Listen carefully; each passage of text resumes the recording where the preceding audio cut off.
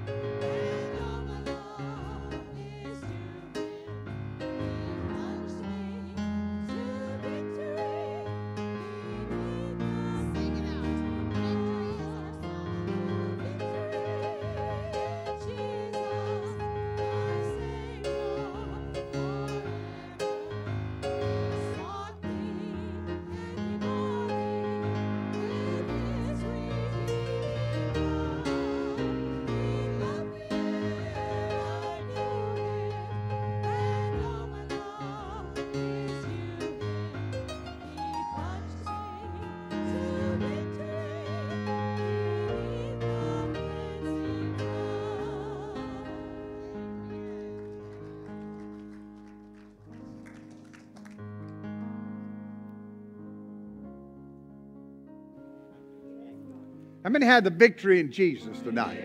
Praise the Lord. Do you have the victory in Jesus? You just kind of wave your hand? Praise God. Our Father God, we thank you for this day. Lord, I thank you that you have brought our pastor and family home. And God, I pray that you would bless and continue to strengthen thee and those, those in the family. And that God, that you would bless my sister. Lord, you have the power. And oh God, you have the will. And Father, we ask you right now for your mercy and grace to be extended. And Father, I pray that, Master, that you would be in this service tonight. Give us of your word, give us of your spirit. Lord, let the Holy Spirit of God come down and touch each heart. And Lord, give us encouragement and, oh Lord, direction. And Father, we bless you, oh God, for we know that you are worthy. And Lord, your name is to be praised. And Lord, it lives in praise in our heart. And God, I ask you right now, Lord, continue this service in your name. In Jesus' name. Amen. Amen. Amen.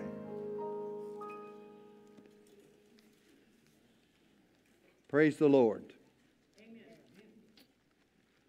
I tell you, God is truly a wonderful God. And He knows His people and He loves His people. I, I, I, just, I, I, marvel sometimes at that uh, part where that Jesus said, you know, He's the shepherd. And you know His voice. You're His sheep. He knows you. And if one goes astray, he leaves the 99 and goes find that one. That's a, that is really a mystery to me. And it's the mystery of the grace of God. Amen. Unspoken, unmerited grace of God.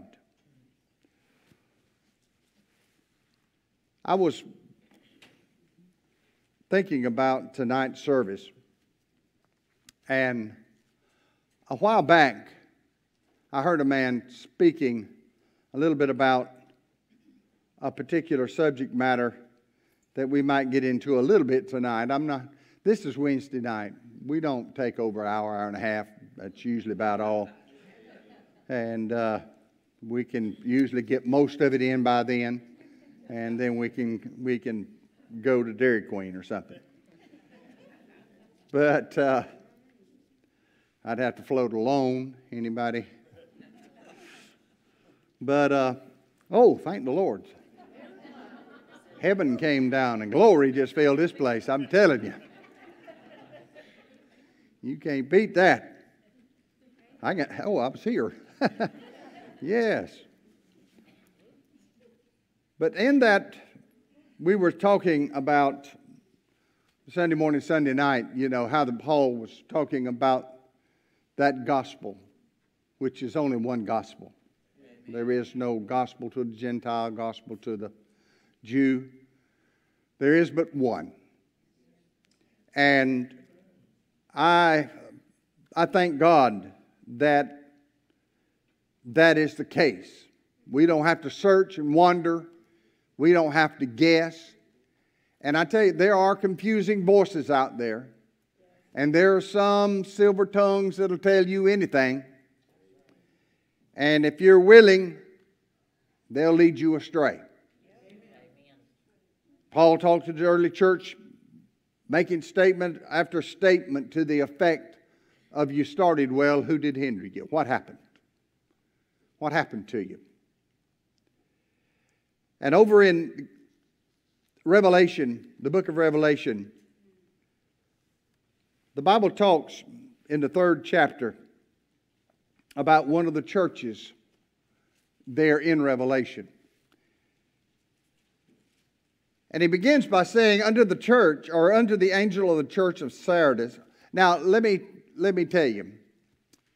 Um, if I talk like Sylvester the cat tonight, it's because I bit my tongue. so, y'all just look at it and go, Hey, Sylvester, go ahead. But anyhow, but unto the angel of the church of Sardis, write These things saith he that hath the seven spirits of God and the seven stars. I know thy works, that thou hast a name, that thou livest and art dead. I want to pray. Father, I thank you for this word. Father, I thank you for the Spirit of God, Lord, that I can feel in this house tonight. And Lord, I pray that you would open our hearts, oh Lord, to receive what you would have us. And God, I ask you right now, give us of your anointing, give us of your peace, give us of your strength. And Father, we'll bless your name. In Jesus' name, amen. amen. I love the way that in these cases where that no matter what the circumstance, that when Jesus would tell somebody that he had a problem with them, he always come back and he always talked about some of the good they did. I told you I had an overseer one time that uh, I don't care what somebody did. They could get up and talk for 20 minutes and never say nothing right, but somewhere he would find something good to say. I can't believe they were able to do that for 20 minutes, if nothing else. And I, I, I marvel at that, and I look at that, and, and I try to pattern my own self after that. It's a hard thing. Sometimes it's a little uh, easier to uh, complain about something than it is to talk about the good of it. And that, that is really a mystery to me. I don't understand that. I'd rather be talking about something good going on, you know. Ask me how I'm doing. So good I can't hardly stand it. That's, hey, that's the way I live. And people stand back and go, well, how are you always up? Because I, I make myself be up. Do you don't have any hurts and pains? Oh, yes, I have hurts and pains. I have aches all over. Sometimes I don't feel like I should have got up, much less able to get up.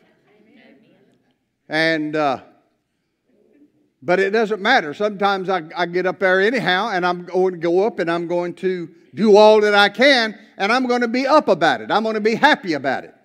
Because that's the way God uh, wants His children to be. Not down in the mully grubs, not sad, not down all the time, boo hooing and woo wooing and carrying on.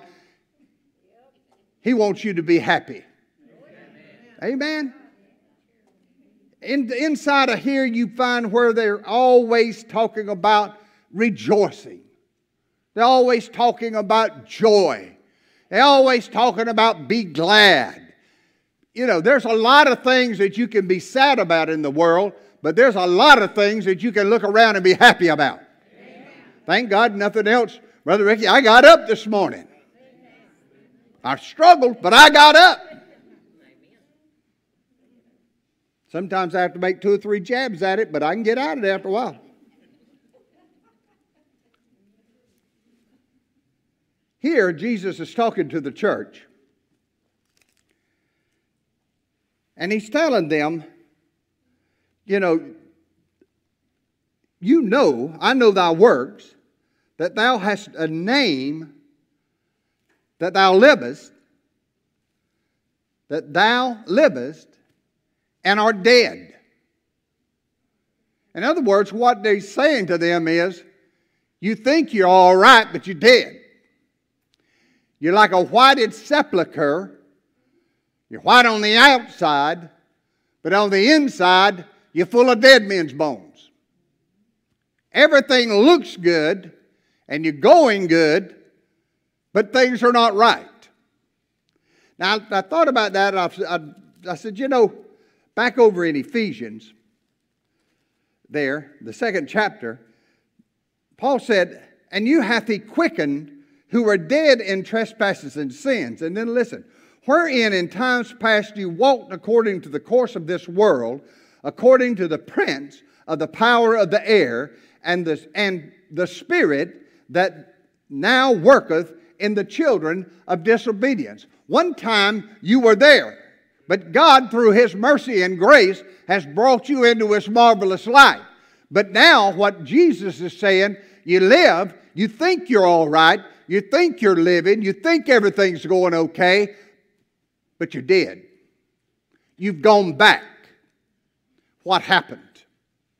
What happened?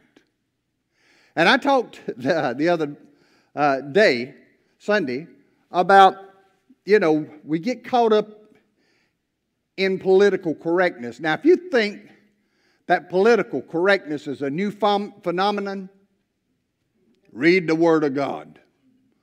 It starts back in the garden and it winds up all the way to the end. Everybody has a word, everybody has an idea. What is political correctness? If you agree with me, you're right. If you don't, you're wrong. I mean, that's it. I mean, You can be called every name in the book. I told you I've been called a deplorable before. I didn't even know what that meant. Had to look it up. Had a good idea. But here Jesus is talking to the early church. You think everything's okay. You think you're all right, but there's a problem. In one case, in one of the churches, he said, I have someone against you. Now, down a few more verses down there, he talks about all the good things that they were doing and those that were doing good. We might get to that. But here, he's talking about you've got a problem. You have done one thing or said one thing and you've done another, is about basically what it is. See, today, do you know that in this country, land of the free, the home of the brave, you can take that and put it on the shelf. Do you know that in some parts of this country, if you got out there in your yard and waved an American flag, they'd come to you? You know why? We can't post an American flag in some places. Why? Because somebody might come by and it may offend them. Now, if I'm in the middle of the desert in Saudi Arabia and I rip out Old Glory and I start waving it around, and one of them peoples come over there to me and say, "Hey, I, I, you know that's kind of offensive. You don't need to be doing." it. I'd say, "Let me roll this little thing up and put it back in my pocket because this is where you live. I happen to live here." There are people that in San Francisco, they have cathedrals that'll seat 500 people and more. Do you know that only one person at a time by law is allowed to go into that house? One person. One. You might catch COVID.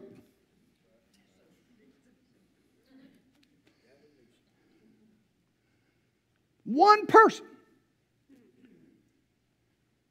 Do you know that in most places in this country, we have a lot of our schools here that are adhered to it. You have to be careful about it. They can't have prayer. They can't talk about the things of God. They can't talk about what's right and what's wrong.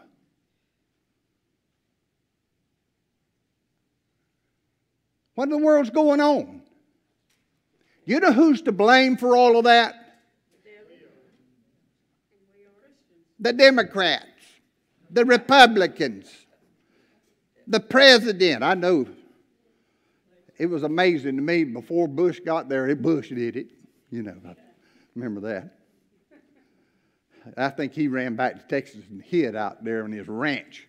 They hadn't seen him since. But what, what happened? We allowed it.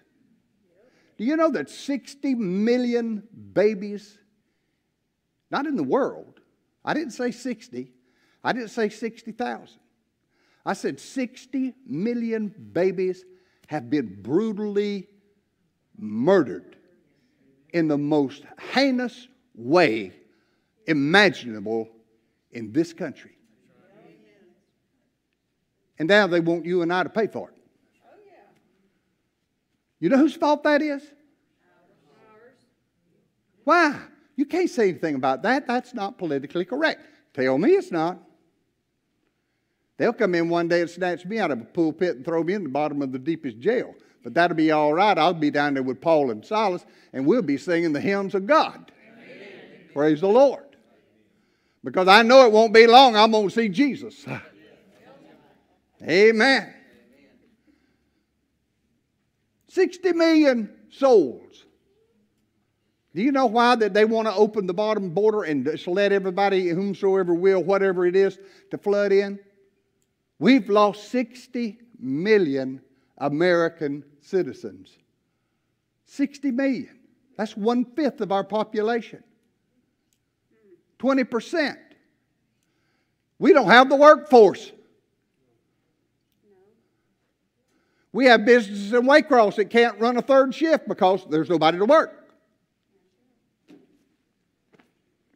So, what's happening? We're paying for the consequences of our slackness. We're living a life and saying, I'm alive, but we're actually dead. And every time we allow these kind of things to go on, we're losing. We're going backwards. We're not advancing. And we may think we are. Let's just compromise. Let's just get along. That's what we need to do. And I told you the other day get you a Bible and start reading it. You need to know the Word of God. You need to have that built. That is your foundation. Outside of that, you don't have one. That is your foundation. That's the Word of God. And let me tell you, if you're having a problem, pray. The spirit of discernment will come upon you, and God will reveal His word and His way unto you. You don't have to walk in darkness. You are a child of light. He is the light of the world. Praise God. You don't have to live in that darkness. Amen. That felt good anyhow. Praise God.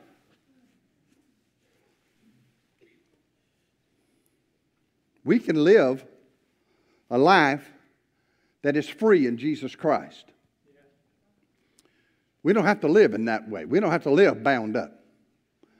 But we can have peace in our soul. I don't know if Brother, Bray, uh, Brother Ed remembers this or not, but we used to have, and I, I, you probably do, some of you in here probably remember the old services we used to have called breaking bread. Remember that, Brother Ed? Never heard, didn't even know they had bread. What was that? But anyway, it was we had bread breaking service. And what they'd do is they'd come out there and get a loaf of light bread or a biscuit or whatever they could find, and they'd give you a piece of it and what you'd do is you'd walk over, and everybody, it, sometimes you'd have a good prayer, and sometimes it'd take a little while. But people would start walking around the church, and you'd go over there, and you'd find somebody that you'd had a problem with. And you'd give them a little piece of bread, and they'd give you a little piece of their bread, and y'all would eat it. And what you do is you would talk about it. The Bible says confess your faults. Your faults. Not how good you are. Confess your faults one to another. We have a problem with that. I ain't telling that bunch of heathens nothing. Now, granted, there are some that if you told, it would be on the above the fold at the Waycross Journal Herald tomorrow morning. Next Wednesday. Now it's once a week. But anyway, so you have to be, there's such things using wisdom, common sense. and, uh, but you would go there and you would talk to them. And you would talk about those things that were the problem. You know, I never saw a fist fight in one of those. I saw a lot of tears. I saw a lot of people making reconciliation. I saw a lot of people talking to their friend or to their brother or sister, or they were talking to God. And I saw a revel- revelation of, of Christ coming down and speaking into their life. It's called breaking bread. Praise God. That's what the early church used to do. They went and broke bread together. Amen.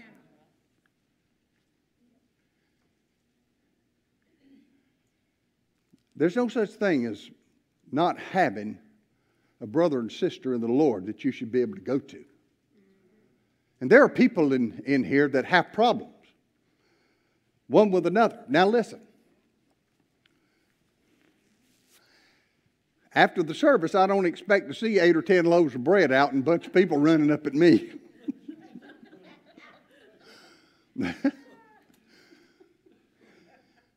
but if that's what it takes, Brother Ed, let's get it on. Let's get it on. Amen. But we have to have some kind of continuity inside of the church to where that we can love one another. That love has to prevail over everything else. And when that love prevails over everything else, we don't get caught up in the things of the world and the rudiments of the world and get carried away wherever wind of doctrine that comes down the pipe. But we're solid in the Christ, in the Christ that we believe in. That gospel. Praise the Lord. I, I don't. Uh, I know that when I, I got saved, I can only use myself. I can't talk about you. I can talk about me. I talk about you enough, so every now and then I talk about me. But I remember getting saved. Well, there was one thing about getting saved. When I got saved, I didn't just go down there and get saved going about my merry way or my uh, little business.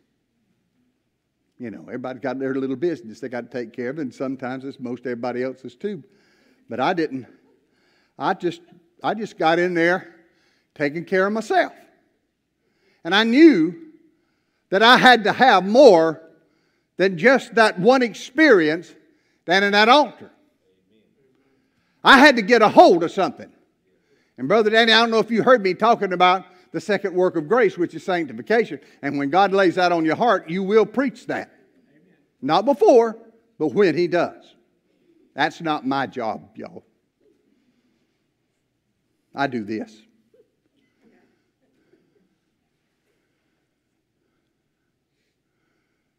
But we have a we have a a relationship with Jesus Christ that has to be built. It has to grow. It has to have uh, some kind of. You got you got to just get in there, and if nothing else, you got to dig around it. You know, sometimes we used to go around there, and Granddaddy had it. Where my house is at now, that was the garden, about an acre and a half of garden, big old garden. And when things weren't doing just right, we had to go hoe the garden. It didn't matter if it was 900 degrees. Go hoe the garden. But when we dig around and we didn't cut granddaddy's pea vines, it's kind of hard to hide that because after a while they'll turn brown. Whose row was this? I didn't know nothing. but we'd dig around there, and when we'd dig around like that, things would start changing. Things would act like they wanted to grow. That's the same thing with your faith, your relationship with Jesus Christ. You have to stir the ground sometimes. We'd bend the peas over, and Granddad take the mule and run down through there with the uh, sweeper, lay that, lay that by, and Granddaddy run me out of the field every now and then because I was bending them too far.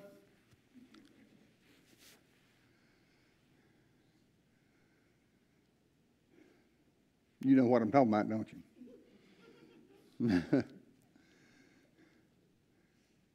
but they'll lay them by, and, that, and let me tell you, those things that take off, you'd think just everything, you couldn't tell what was happening, man. It'd just be exciting. And then we got to go out there and pick them. But anyway, the same thing with your relationship with Jesus Christ. You got to build that. I was not satisfied just to go down there and have me that prayer that night. I knew God saved me. I didn't have a doubt in my mind. No way. They couldn't have come up there with an army of 10,000 and tried to convince me, Sister Carolyn, that I hadn't found peace in Jesus Christ. No way that that blood of Jesus Christ had washed me clean. I knew it without a shadow of a doubt. And the one thing about it, Sister Gwen, I didn't want to lose it. I didn't want to let it go. I didn't want to have to go through that again, but I didn't want to let it go. I wanted to keep what I had. And you know what I did? I got my little Bible out. And I started reading. And I read and I read and I read and I read. I remember when I got down to Florida, and we were still going through the churches there. And then I became the associate minister there. Wonderful man of God, A.H. Davis, brought me out there and put me in. And I preached every Sunday night. But Brother Ed, I didn't stop reading. I kept reading. I kept reading. And I kept reading. And then I moved from out of Sanford. I worked for the city of Sanford. I went out and worked for the city of Casselberry. Then we moved all over everywhere. Next thing you know, I was called into the ministry. And I know I was called into the ministry. Ain't nobody have to tell me. Nobody had to show me. Nobody had to draw a book and tell me that this is the book you learn from here. No, I learned from God. And when I got there, I, I was able to pastor churches, minister to people, save souls through the blood of Jesus Christ because I introduced Him to them. Not me, Him. Praise God. And because of that, I was able to continue on and on and on. But let me tell you what, I never lost that Bible. I worked at Herb White Marine down in Jacksonville in the service department. It come around lunchtime. It's lunchtime. Great. I'd get up on the bench. Dorsey would have me some kind of sandwich. I'd sit down on that bench, open the drawer of my toolbox, reach in there, pull my little Bible out, and I'd start reading. And I read for the lunch hour. Every time I was stopped, I was reading the Word of God. I was talking to God. I was finding out what God had to say because I did not want to go back. I did not want to lose what I had. I wanted to continue. I wanted to grow in Christ. I didn't want to be one of those that Paul was talking about. I marvel at how you just fall back. You started well. Who did hinder you? I don't want nobody hindering me. I don't want a devil in my life. I don't want nothing to hinder me from the grace of Jesus Christ. I want to grow in that every single day. And that's where I live. Praise God. I told you I have problems. My problems stem from that one eyed devil. And let me tell you, Dorsey come in, who you talking to? I said, I'm arguing with that man on TV.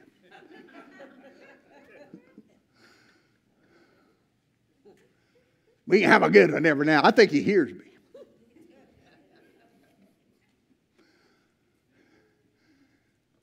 But then I'll get in there and I'll get arguing pretty bad. And I'll say, you know, you ain't got the sense enough. To, I, and let me tell you what's happened. Let me tell you what's happened. Used to, I'd get all that out. And now finally, I caught myself. And I said, God, I don't need to do this. I want you to correct me, remember? I told you. I want you to correct me on this. Every time I do this, every time I start, I want you to stop me. He does. He does. Why? Because he cares about me. Not because how good I am, because he cares about me. He died for me for crying out loud. You don't think he's going to try to take care of me? And I sit there and I go, and now I've got to where I get down to, and that's about it. Don't even get a good out of it, nothing.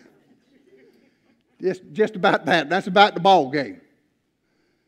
And I'll say, Lord, I want to thank you that you stopped me.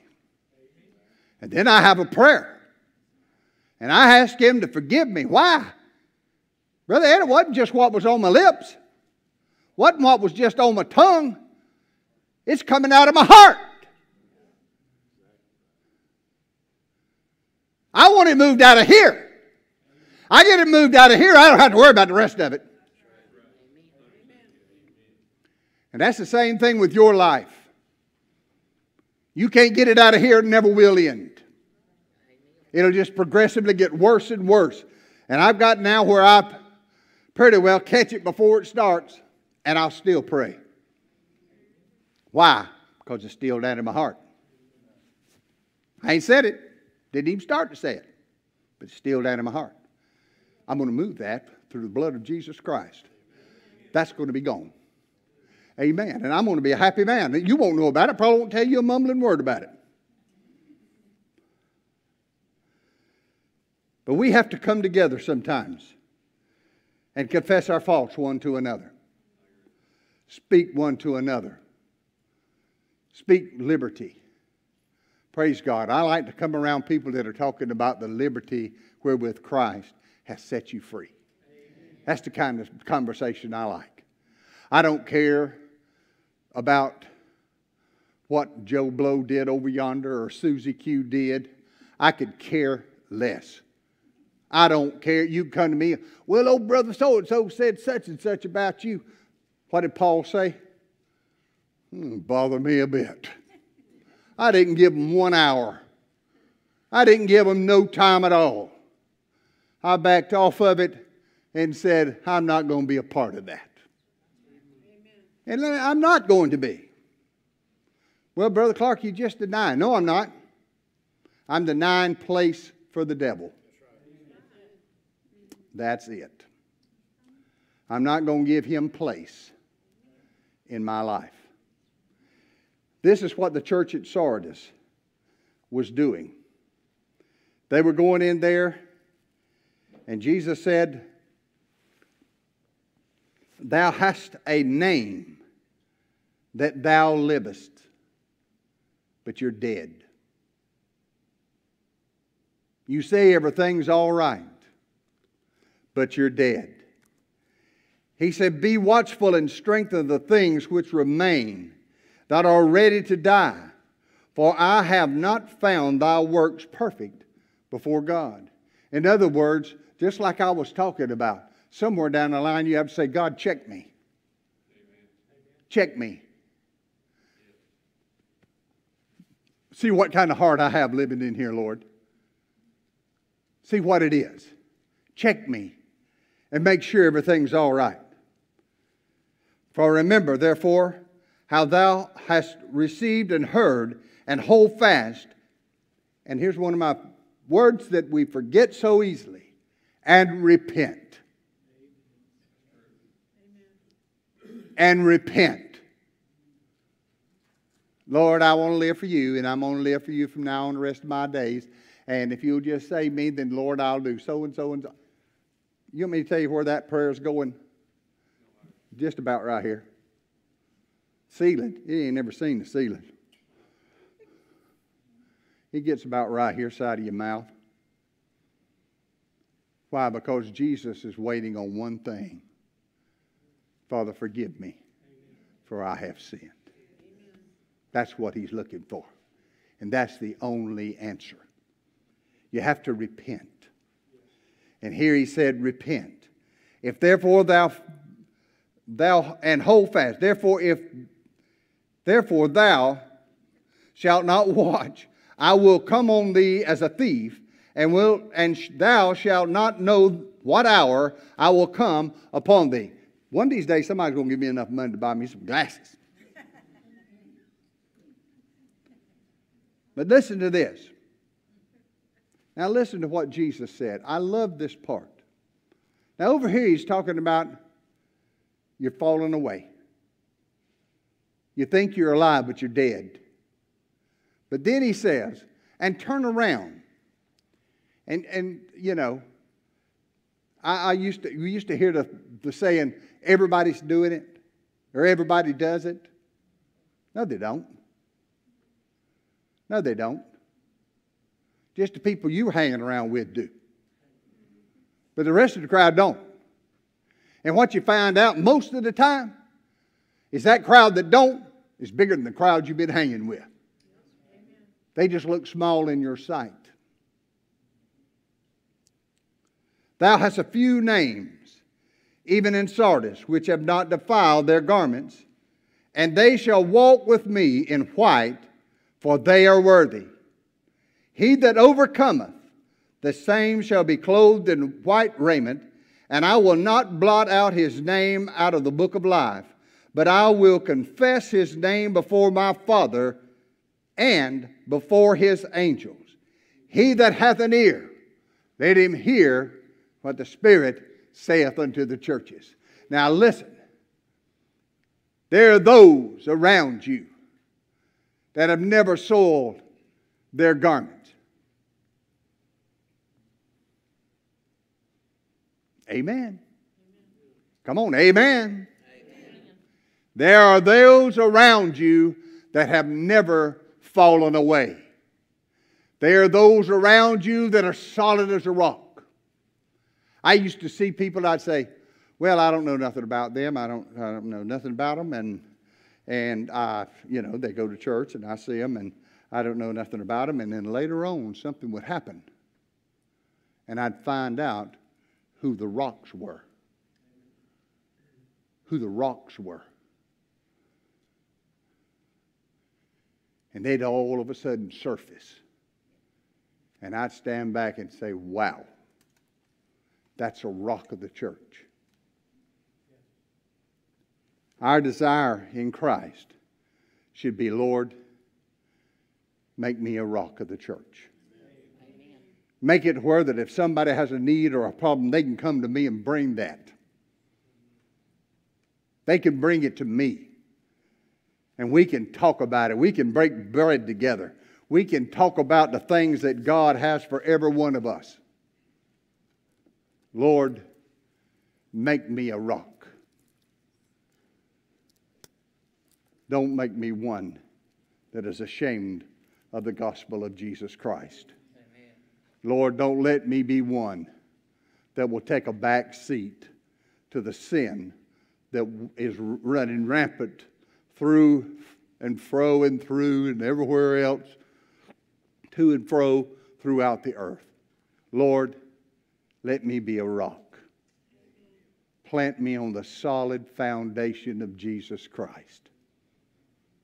Amen. Build upon me. Let's pray. Father God in heaven, I thank you for tonight.